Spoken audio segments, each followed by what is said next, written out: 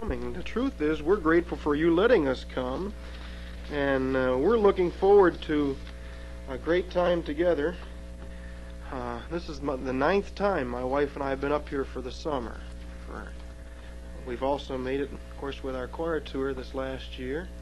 And a lot of the young people who were up with us uh, wanted to send their greetings to you and and tell you they were thinking of you and also uh, take that from them. I don't know about you, but after traveling a little bit and being out in the out of doors and then uh, finally getting to sleep last night, I toss and turn a bit and finally I fell asleep and then I woke a time or two and then some of the girls in the next room were talking too much and that woke me up.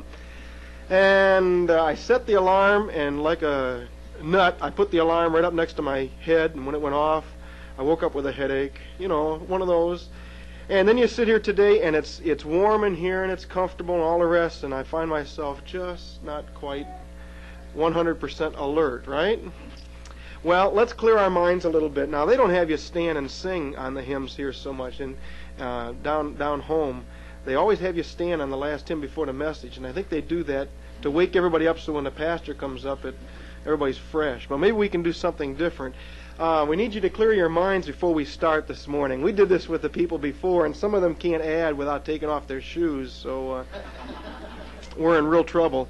But I want you to choose a number between 1 and 10. Will you do that? And don't tell anybody what number you chose, okay? Any number between 1 and 10. It can't, that doesn't include 0 for some of you who are trying to fake me out here. Now I want you to double that number. Okay? Can you add 4? It's getting harder now. Now divide that in half. Okay? Now take your original number that you started with and subtract it from the number that you were at there. Can you do that? Well, some of you are in panic. this is not a test. now we're going to see how well you did. How many came up with two? Terrific. How many would have raised your hand no matter what I asked? Oh. That's great. Boy, I did that down home, and the first time everybody looked at me and said, "I can't believe that." Isn't that right? And some of the young people, yeah, some of them are getting awful bashful here because they they couldn't figure. Well, let's try it again. Choose another number, but not the same one. Huh? All right, I want you to double it again. Let's add uh, six this time. That's this many for those of you that are trying to figure that out. Okay. now divide it in half. And subtract your original number that you started with from that number. I ought to ask what each of you got and see if we came up with the same answer. But how many came up with three? All right, we're doing pretty good. A few hands didn't go up over here, but all right. See now, you got your mind all in gear. We can start. Isn't that great?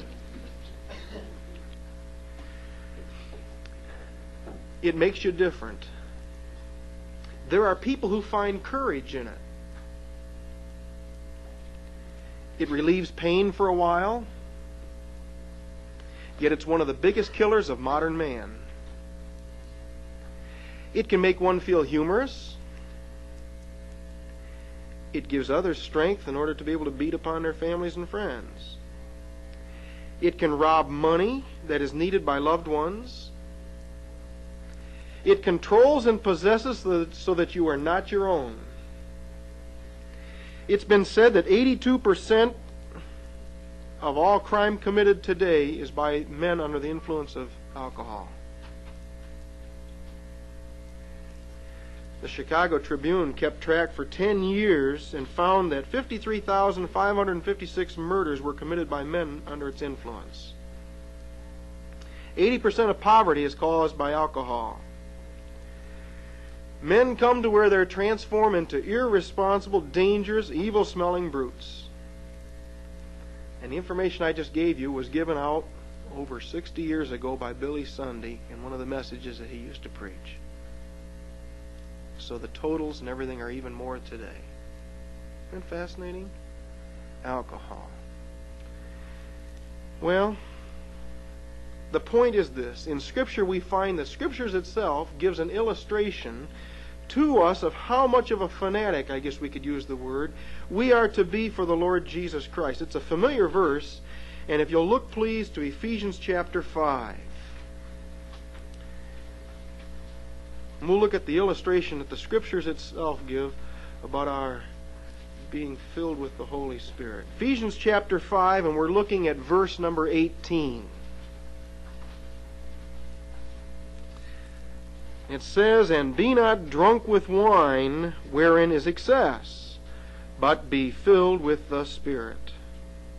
And we'd like to look at that verse for just a few minutes this morning, and then we'll be dismissed. And I would like very much, I know I recognize almost everybody. There's a few faces that are new to me, and I promise not to scare you, but I'd like to get acquainted afterwards. That'd be great.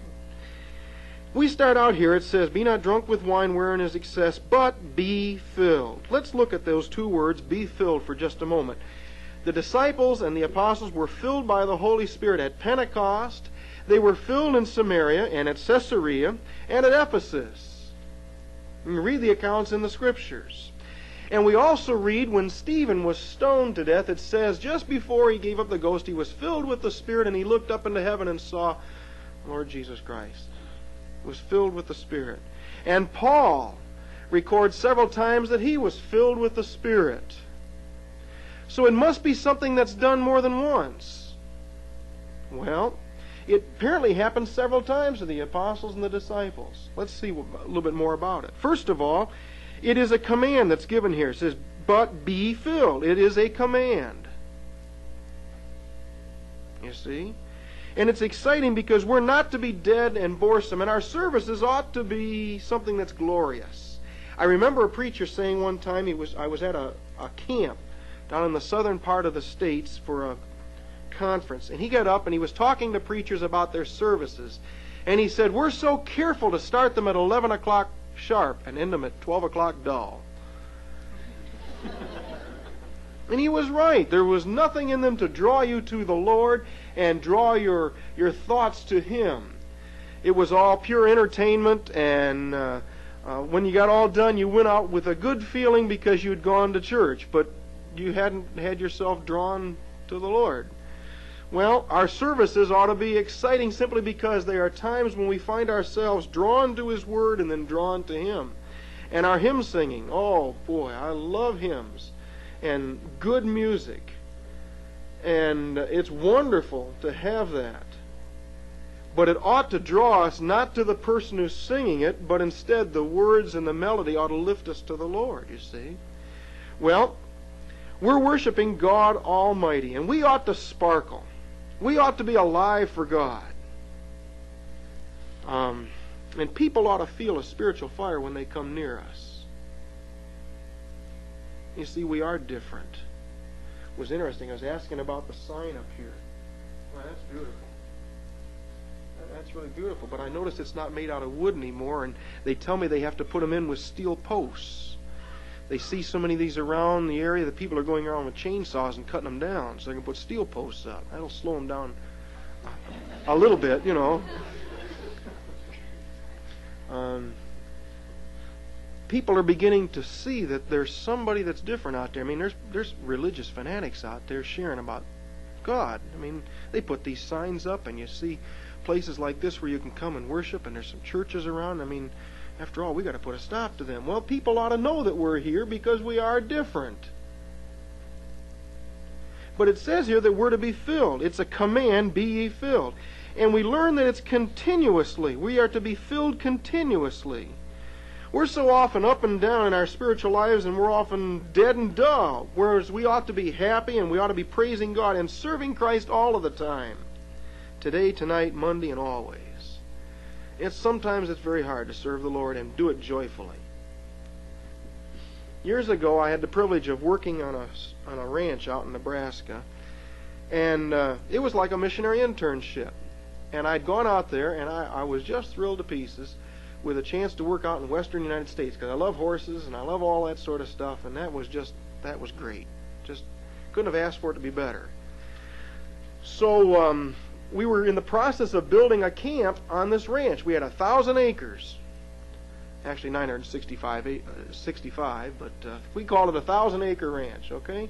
And um, we were going to build a camp. So I went to the missionary. I said, "Okay, what do you want me to do?" And he smiled at me, and I knew I was in trouble for having asked. And he says, Well, I want you to go and I want you to buy so much lumber and nails and uh, get yourself a hammer and saw and I want you to build three outhouses.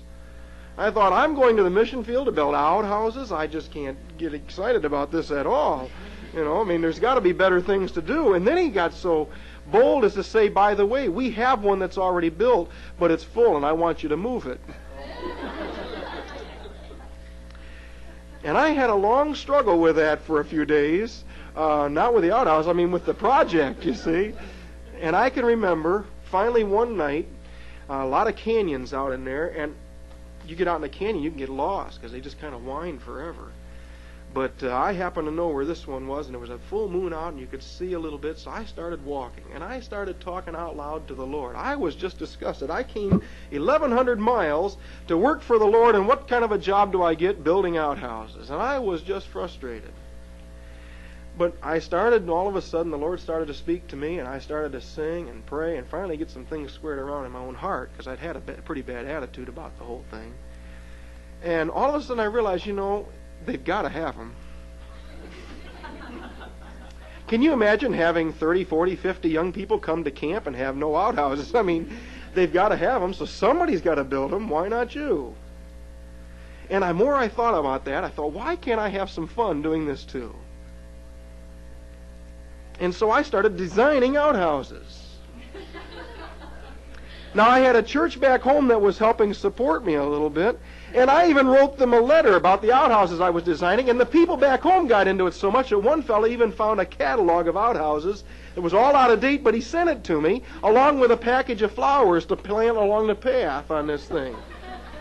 And I just had a riot. I started taking pictures of these things and sending them home, and people couldn't believe it. Here's Dave out there building outhouses and having a great time doing it. And the Lord changed my attitude, and I realized, you know, even doing the things that we don't really want to do, we can so allow the Lord to fill us that we can enjoy it and enjoy ourselves completely, and it rubs off on everybody else. Because pretty soon, believe it or not, I had people who wanted to come and help me build outhouses. I wasn't alone in my project. Now, I don't dare go any further in that story because my wife is giving me dirty looks, but uh, it was quite a uh, quite an opportunity. I mean, it was great. But we're to be filled. It's a command, and we're to it's to be done continuously. And it says also in there we learn in the Greek that it's to be all of us, all of you, is to be filled. It includes all, and it's a quickening power that moves in all of us, and people ought to be able to see it. Well, there's another part here. We learn that we're to be given over in utter abandonment.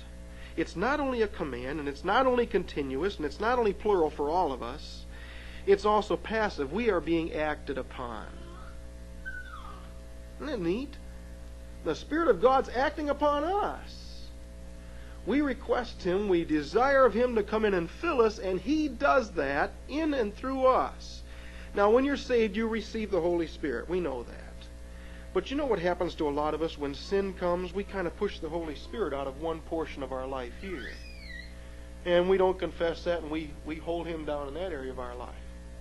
Then we have sin come in and we push him out in this area over. And pretty soon we have we still have the Holy Spirit, but he's not filled us. We've kind of taken him out of certain areas of our life. And this filling involves us turning ourselves completely back over to Him and opening up all the doors of our life and letting Him have control in all areas, you see. Totally given over to Him. Some time ago, there was a cantata, uh, a Christmas cantata that was published and the composer took the words taken from Luke chapter 1, and uh, I want to just read that. You don't have to turn there. You can keep your finger in the uh, book of Ephesians there. But in Luke chapter 1, he took a portion of Scripture here, and um, it was Mary reflecting back to what the Holy Spirit and the Lord God and all was going to do in and through her with the birth of the baby Jesus, you see. And she started out by saying this My soul doth magnify the Lord, and my spirit hath rejoiced in God my Savior. For he hath regarded the low estate of his handmaiden. For behold, from henceforth all generations shall call me blessed. For he that is mighty hath done to me great things, and holy is his name. And his mercy is on them that fear him from generation to generation.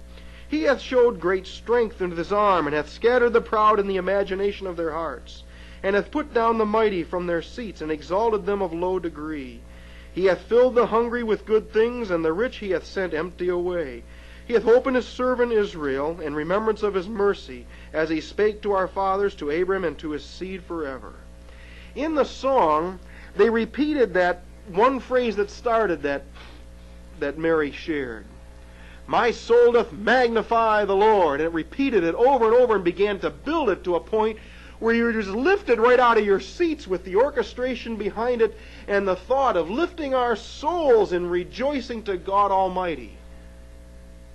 And the words that were given by the composer over that phrase to the choir was, Sing this in utter abandonment. In other words, let yourself go in total praise to God as you sing this portion. My soul doth magnify the Lord. It was exciting. It was really exciting. Well, this is what he's asking us to do here. Turn ourselves completely over in praise to the Lord Jesus Christ. And it happens like someone who is filled with alcohol. They turn themselves completely over to it, don't they? I never have felt called to minister on a full time basis in the rescue missions. It takes a special person to be able to do that on a regular basis. If you've ever visited a city rescue mission and seen the people that they have to deal with, it's very, very difficult ministry. But many times I've been asked to go down and speak and to share, and I've taken the opportunities. But to see a man seated there who can hardly hold himself up, and he's got vomit all over him, and he's been sleeping in the gutter, all because of alcohol, that's a diff- difficult person to have to deal with. What has happened is he has given himself completely over to that, and it has controlled him. It controls his speech, it controls his thoughts, controls his actions, it controls him. Well, we learn here that we are commanded continuously, all of us, to be given over in utter abandonment to the Lord Jesus Christ and the filling of the Holy Spirit. And in the filling of the Holy Spirit. Well, just how can we know that we are filled? Well, there are several things we can look at. I enjoy verse 19 of this chapter. We read verse 18. Look at verse 19. Speaking to yourselves in psalms and hymns and spiritual songs, singing and making melody in your heart to the Lord. I think one of the things of a person that's truly turned over to the Lord Jesus Christ and filled is they are joyful, and music will come. They may hum. Maybe the only music they can do is uh, something that they do when they're in the shower or something so nobody else hears. I don't know. But I think the music will come forth. Do you know there's over 500 references to music in the scriptures? Over 500. Music is important. And when someone is truly filled with the Holy Spirit, it just kind of bubbles out of them. And I don't think the Lord is too concerned of whether it's totally in tune or not. He's more concerned about our heart attitude when it comes. Music. It's one of the fruits of the Spirit, Galatians 5:22. And it's a deep experience of confidence in spite of circumstances around us. There's a little poem that says, Trials must and will befall, but with humble faith to see love inscribed upon them all. That is happiness to me. You see, it's not afraid to express the deep joy of one's relationship to the glory of God. And I think also that we will learn that that person is thankful. Look at verse 20 now. Giving thanks always for all things unto God and the Father in the name of our Lord Jesus Christ, even for building outhouses. Even for building outhouses. Did you know that the state of Nebraska requires outhouses to be fly tight and fully ventilated and have spring loaded doors? I mean, those outhouses were Cadillacs. They were wonderful. I had a ball. But I learned to be thankful even having to do all of those crazy things. And I think the Lord finally could see that I really meant it because I had such a good time with it and other people could see it. I think a person who truly loves the Lord and is filled will be thankful for all things, even the hard things. Being enriched because of others and humbly acknowledging God as the giver of every good and perfect gift. He's given us it all.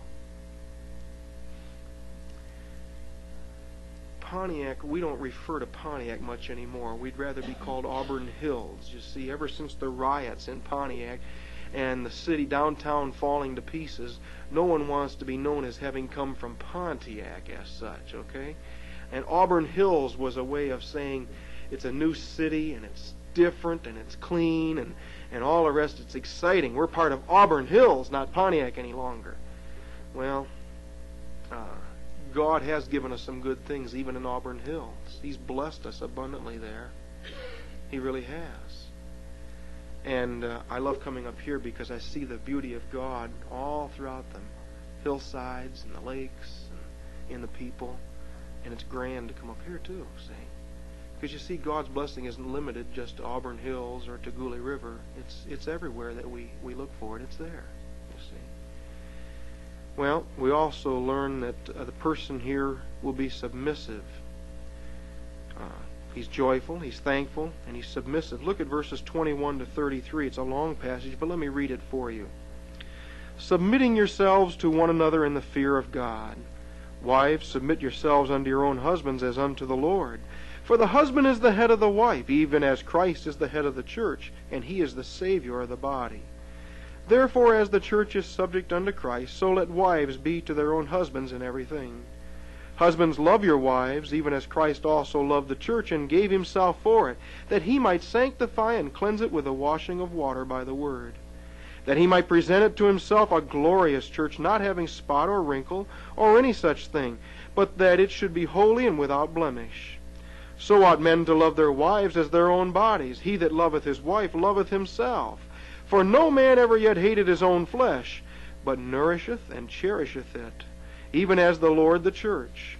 For we are members of his body, of his flesh, and of his bones. For this cause shall a man leave his father and mother, and shall be joined unto his wife, and they two shall be one flesh. This is a great mystery, but I speak concerning Christ and the church. Nevertheless, let every one of you in particular so love his wife even as himself, and the wife see that she reverence her husband. A person who's filled is submissive. Now, this has nothing to do with throwing weight and authority around. It instead it governs the operation of authority. It's how it is given and how it is received. It builds people up. It's not using authority to make oneself important. Isn't that neat? Isn't that exciting? Be filled with the Spirit. Well, let's review quickly and then we'll be done. We read here, Be not drunk with wine wherein is excess, but be filled with the Spirit. It's a command. Be filled. Be filled. Secondly, it's continuously. We must do it again. We must constantly cleanse ourselves, confess our sin, and restore all the areas of our life open to the controlling and ruling of the Lord Jesus Christ and the Holy Spirit in our lives all of us. Wouldn't it be exciting if everybody walked out of this little chapel here today filled with the Holy Spirit and excited and just kind of moved out through the community and people could see it and experience and enjoy it? And we're to do it in utter abandonment, giving ourselves completely over to it. Oh, that's exciting. It's exciting. Being joyful, thankful, and submissive. Sounds like a tall order, doesn't it? Well, I don't think it needs to be. I think it could be very simply stated like this let go and let God. So often we try and do it on our own, make it on our own, when instead, if we just let the Lord handle it and then follow as He directs, it would it would happen. It would be so much easier. Let go and let God. Well, consider what He's done for you and for me. I certainly don't deserve his love, and I'm sure you would say the same. And yet I find that he gave it so fully and freely. One of the hymns that I really enjoy, I just want to read some of the verses to you, is the hymn found on page 44 of your hymn book. It says, And can it be that I should gain? Think about the words here as, as we share them with you. And can it be that I should gain an interest in the Savior's blood? Died he for me who caused his pain? For me, who him to death pursued? Hmm. He left his Father's throne above, and so free, so infinite was his grace, that he emptied himself of all but love and bled for Adam's helpless race. There's no condemnation now that I dread. I am my Lord's, and he is mine. Alive in him, my living head, and clothed in righteousness divine. Amazing love, how can it be that thou, my God, shouldst die for me? Amazing love, how can it be that thou, my God, shouldst die for me? Oh, I don't deserve it, but he's offered it. Why not take it and enjoy it? Be filled with the Spirit. Do the impossible for God. It is something that God does for us and in us and with us. And are you willing? I trust that you are. Let's bow for prayer. Father, thank you so very, very much for the privilege of worshiping together with fellow Christians. Father, we have felt a bond in Jesus Christ with these people for many years now. And it's wonderful to see some new faces and to see the love of the Lord Jesus Christ in this place. And for the privilege we have of sharing in that for two weeks. And we pray that you will be our portion in all that is said and done during that time, that we might find ourselves growing closer to the Lord, and each of those that are here the same. Father, we want so very much to be filled and to be used of Thee. We want to give ourselves over and be controlled of You, finding ourselves living, walking, serving You daily. It's not just something that we do on Sunday to be of good appearance to our neighbors. It's something we do because we love You and we desire to serve You and have You first in our lives Monday through Saturday as well as Sunday. Thank you for your love and for your watch care. Continue to mold and make us in thy perfect will, Father, for it's in your name that we pray. Amen. Thank you.